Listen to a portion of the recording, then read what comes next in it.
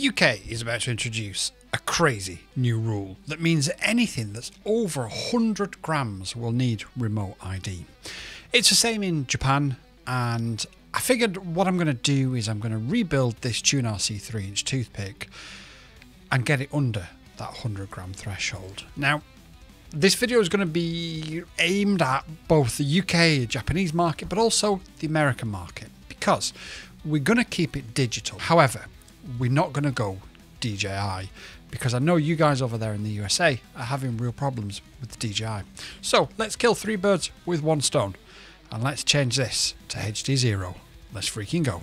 So let me introduce you then to what exactly we're going to do. We're going to take this apart. We're going to remove the O4 Pro. We're going to put in a Runcam HDZero. We're going to put in a MIPI cable, but also the 5-in-1 HDZero VTX and flight controller.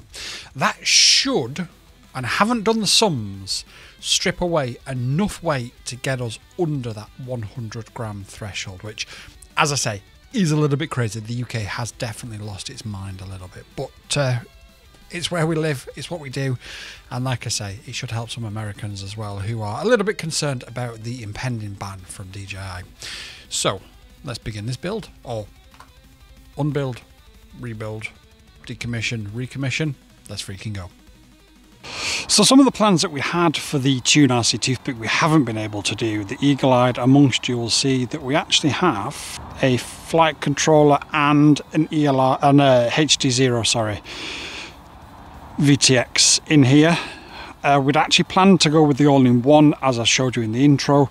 Unfortunately, the all-in-one doesn't work with the decent cameras, so therefore we couldn't do that. And also I didn't have a canopy wide enough for the narrower cameras.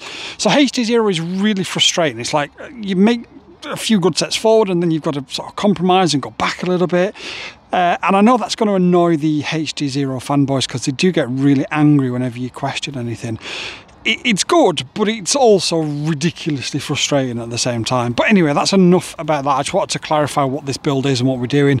Okay, the idea was to use a single board um, and a decent camera, but unfortunately, the decent camera doesn't work with the single board, so we've had to use a VTX and an all-in-one flight controller. We've removed the O4 Pro, we've added a decent HDZero camera and a HDZero uh, VTX. So let's see what the weight looks like. Now it was about okay, it's about the same as with an O4 Pro. It's about 130 grams with an O4 Pro. Um, let's move that out of the way slightly. And just to clarify, just bring it into uh, into shot. That is with the HDZero VTX.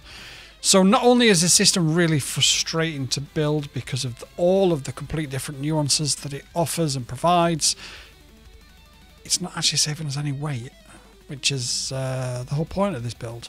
Now, I know the whole canopy thing, we can change that. We can reduce loads of weight with the canopy. I don't think we can reduce 30 grams with it though.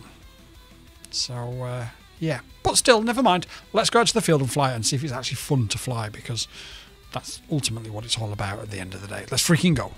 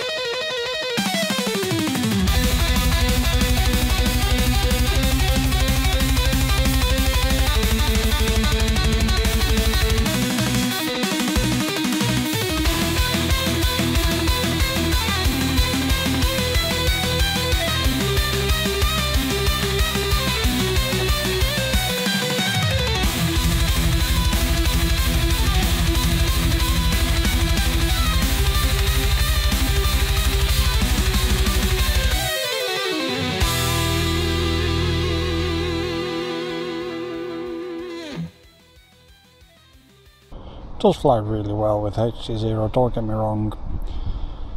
I just don't have the same confidence that I do with DJI.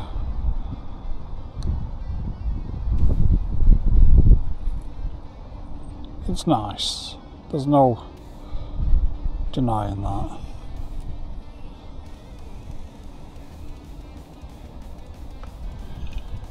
oh, something's just come off. I think that might be the receiver.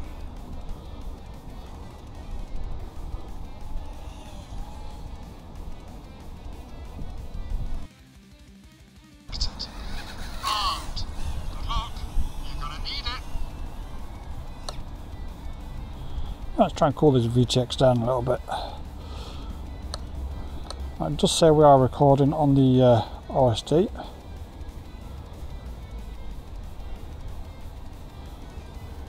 So we should be recording on the OSD. These rates do seem a little bit lower than... Uh, oh, bird tried to dive on me. Than what we'd set at the weekend. Yeah, that snow is just horrible. For a VTX and goggle set that costs the same as DJI, difficult to get behind, I've got to be honest.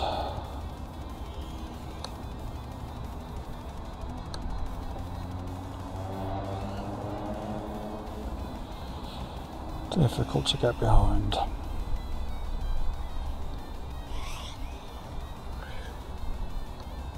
Super fun though. There is no question about it. I do have a lot of fun with HDZero.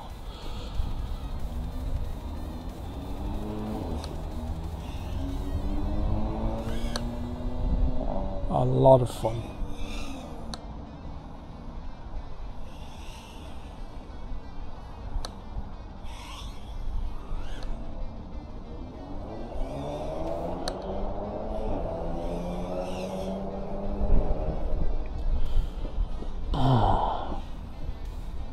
It's a very cold one in the UK today. It was zero degrees this morning,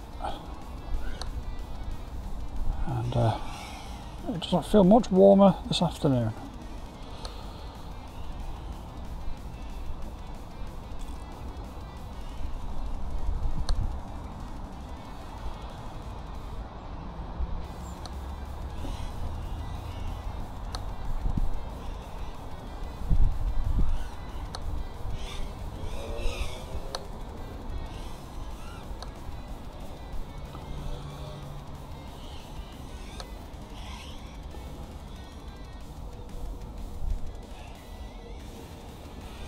Yeah, I like it. It's good fun. I don't think I'll ever replace DJI.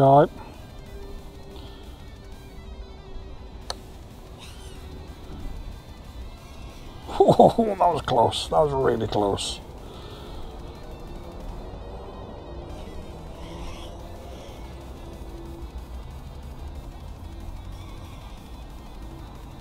Can actually hear the ping of the metal as we went so close to it there.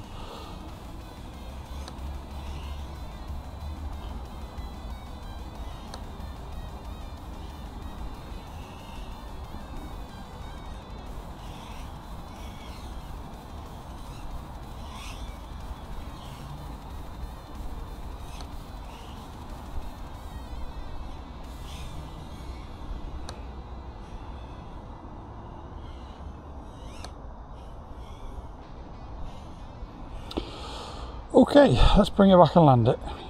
That was fun. ultimately then and because of the way that we had to configure this build in the end it didn't come in at under 100 grams all up weight however there are things that we can do to to move this forward, we can use the AIO 5 in 1 from HDZero, which I did try and use, but it doesn't work with the nice camera, so that's a bit of an issue. We can redesign a canopy and get a much lighter and smaller canopy because this is the O4 Pro canopy. And we can, yeah, just we can probably get closer to 100 grams all up weight in the end. Whether or not we'll get under 100 grams all up weight is another story. But that said, this has been a really fun if a little bit frustrating build. And it doesn't half fly really, really well, doesn't it? If you've got any questions whatsoever, please do drop them in the comments down below. But until next time, peace out, legends. YouTube and I have had a chat, and we believe that this is the video that you'll like the most. So watch it and let me know if they're right.